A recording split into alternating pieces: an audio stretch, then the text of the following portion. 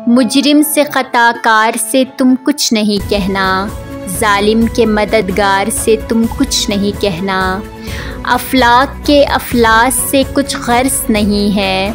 दौलत के परस्तार से तुम कुछ नहीं कहना। गुर्बत से बिलकते हुए मर जाएँगे साहेब। सोए हुए सरदार से तुम कुछ नहीं कहना। जिस शख्स ने गुलशन को जलाया, उसे ढूंढो। जलते हुए गुलजार से तुम कुछ नहीं कहना। जो बात हकीकत है सरे आम कहो तुम। डरते हुए तलवार से तुम कुछ नहीं कहना। गरचे हो तुम्हें लाख ही शिकवे व शिकायत। मरते हुए बीमार से तुम कुछ नहीं कहना।